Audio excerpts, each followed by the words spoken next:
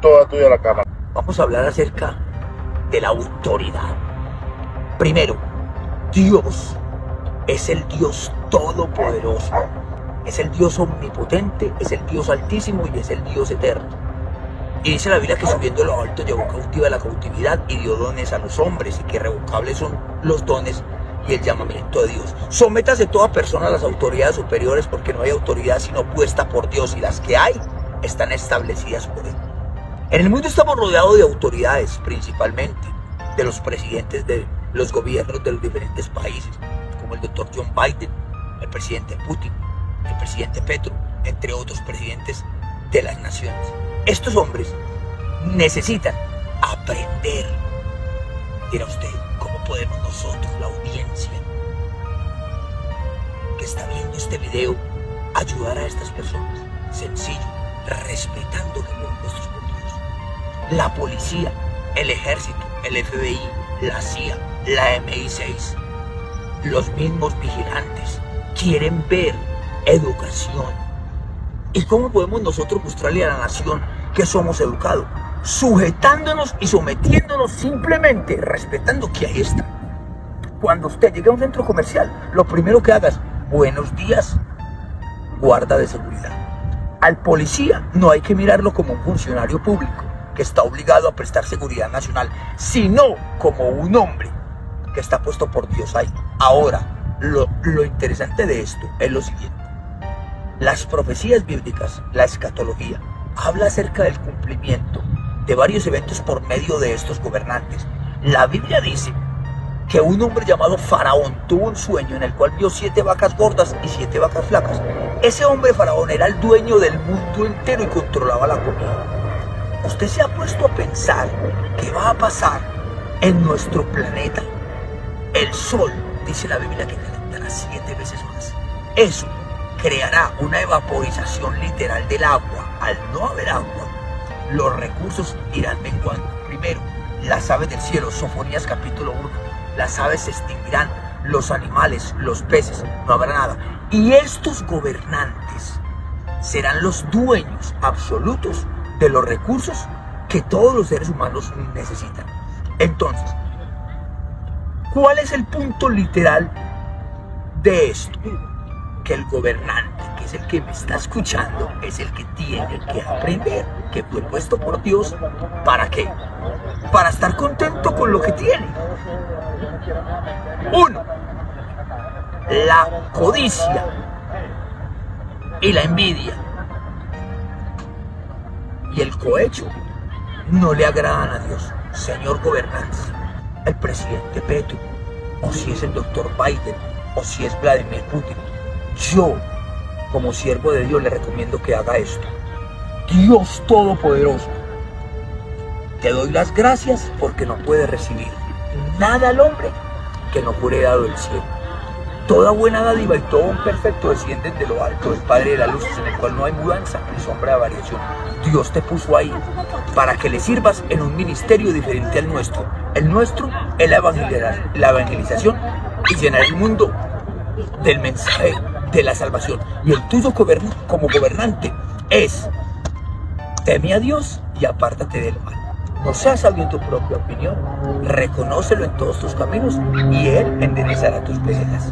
Humillaos pues bajo la poderosa mano de Dios para que los exalte cuando fuere tiempo y recuerda, Dios es espíritu y tales adoradores busquen que lo adoren en espíritu y Dios los bendiga. Dios los bendiga. Yo lo voy a esto que, yo lo voy a esto que a mí me está dando como una, una tengo una duda. Sí, Dice que, que la, la, tercera guerra mundial viene por la escasez del agua. Bueno, bueno, ¿Por qué? bueno, vea, es una mentira escatológica, porque la energía nuclear que hay en este momento en el planeta Tierra, es decir, el solo, el solo arsenal nuclear que tienen los Estados Unidos, destruiría la Tierra en una millonésima de segundo. El solo arsenal de Estados Unidos.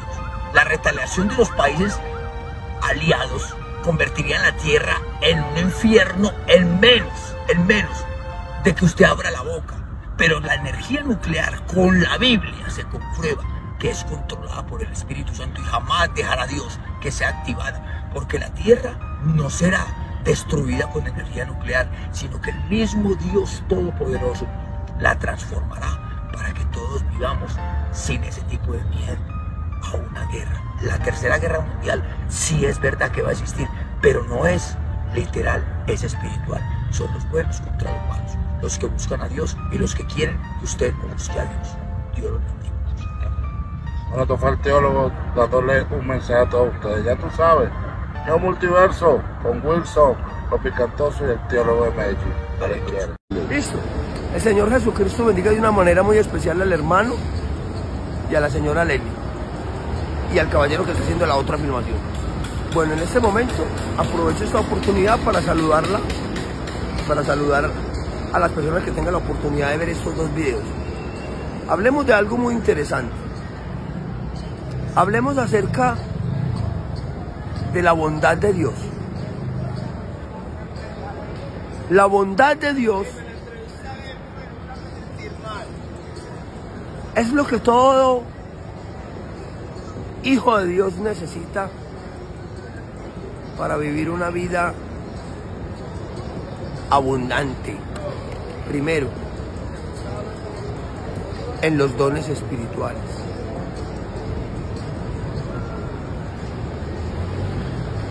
Dios, a través de la bondad, te da sabiduría para que seas perfecto. Te da inteligencia para que sepas hacer las cosas. Te da conocimiento para que no te engañe el hombre malo. Y te da la bendición. Con la bendición de Dios nunca te faltará nada. ¿Qué se debe hacer cuando yo recibo ese don de parte de Dios?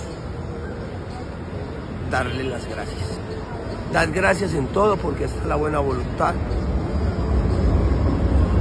de Dios para con vosotros en Cristo Jesús. La bondad de Dios es que siendo omnipotente, todopoderoso, eterno, santo y luz, que creó el universo, tenga la humildad de ser su amigo y de decirle, yo estoy aquí para ayudarlo. Está enfermo, lo sano. Tiene hambre, le doy comida. Necesita pagar los servicios, el arriendo, le doy la plata. Está afligido, lo consuelo. No existe absolutamente ninguna necesidad que la misericordia de Dios no supla. Cambiemos la palabra bondad de Dios. Cambiémosla.